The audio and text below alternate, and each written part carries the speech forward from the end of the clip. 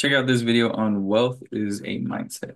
Wealth isn't a possession, it's a mindset which is why it fucks so many people up. There's a big difference between wanting to spend millions of dollars and wanting to be a millionaire. They are not the same thing. And a lot of times people confuse the two things. Most people are consumers. They want to consume at a faster, bigger rate. So they want wealth so they can continue to consume. The whole fucking system is predicated upon consumerism. Consumerism isn't the path to wealth, it's quite the opposite. Wealth is built by putting your money to work, not spending it. That's a big difference. And having a wealthy mindset means, we talked about this a lot, but it's learning how to take your time and energy, which when you're younger, you tend to have more time and energy, and you trade your time and energy for opportunities to generate wealth or money. And then you have one or two things you can do with it. You can either eat your seed, which I just jumped to farming if you didn't follow me, right? You can either eat your seed or you can plant it. If you plant it, it creates what? More. If you eat it, what happens?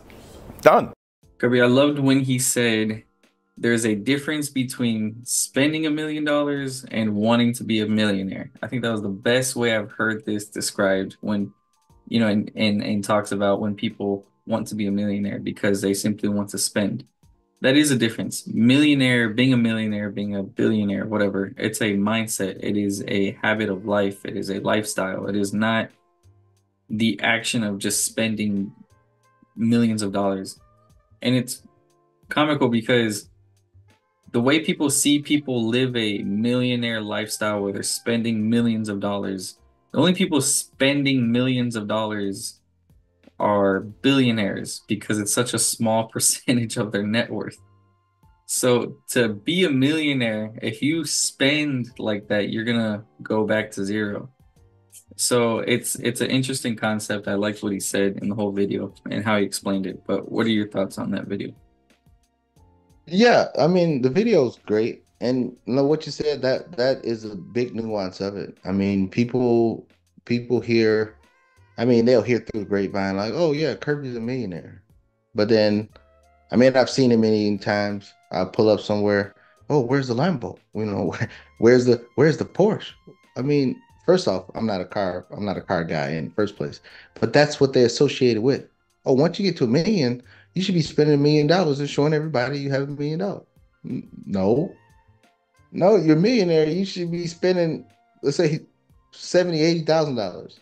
I mean, on you, on you and your lifestyle, not not the nuances of it. I mean, let's go to Jeff Bezos. Bezos for forever, he was riding around with a little Honda or Toyota Corolla, and he was worth billions.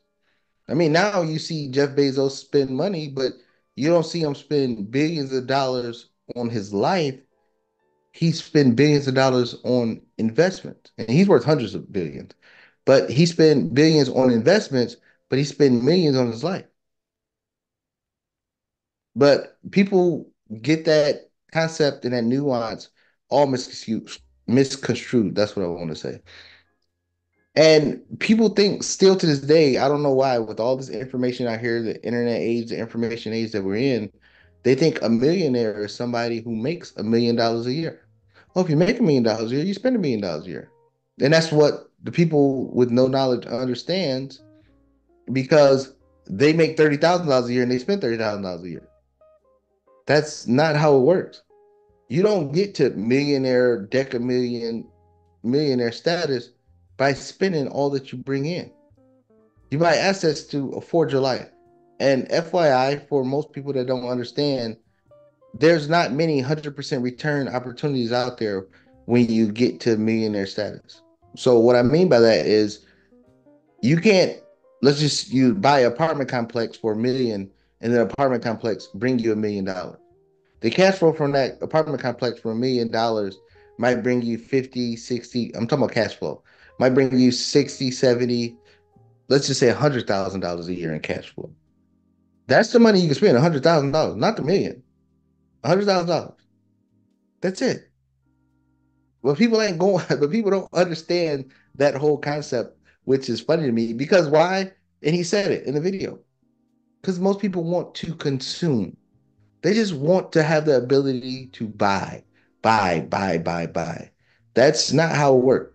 So sorry if I'm bringing people breaking news, but a million dollars in net worth don't mean you get to spend a million dollars. You can, but you'll be back broke again, and then you got to figure it out again.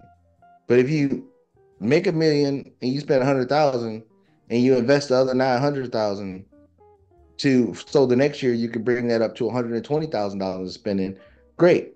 But once you start going into that nut, once you start going into the amount that you invested, you're on a fast road to nowhere.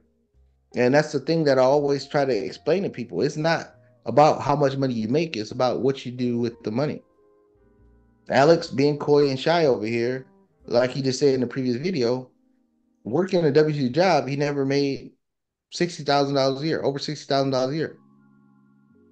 But he's a millionaire. I remember we started this channel and Alex was like, I'm just trying to get to 100,000. so I'll break the news. Now he's a millionaire, still only making $60,000 a year. It's because he didn't use his paycheck to go live his life. He used his paycheck to buy assets. The assets afford him to go live his life.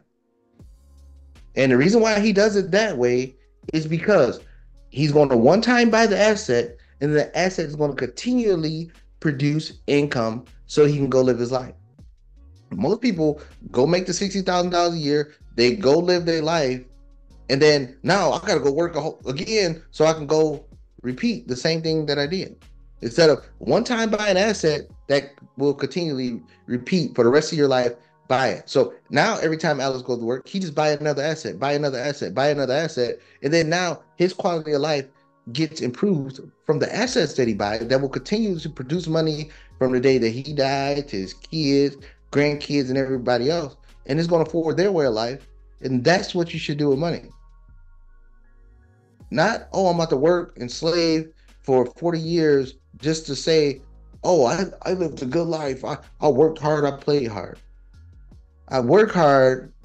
Well, I don't work hard. Let me stop. I, I work. I buy assets so everybody else can work hard, so I can play hard off of their their work.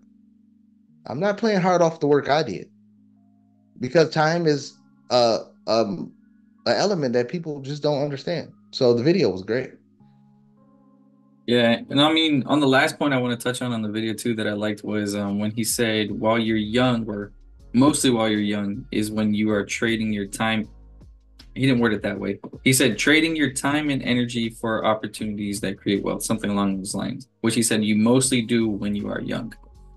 Um, and that point I think was so crucial because it just shows to the younger crowd you've got to take advantage while you are young to go for those opportunities because that is when you have the most time and and uh, opportunities or time and um, energy. And you know it's it's looking for those opportunities. It's 100% a mindset as he was saying. It's not a cons- it's not being a consumer. You know millionaires aren't necessarily consumers in that aspect unless you're Kirby with food.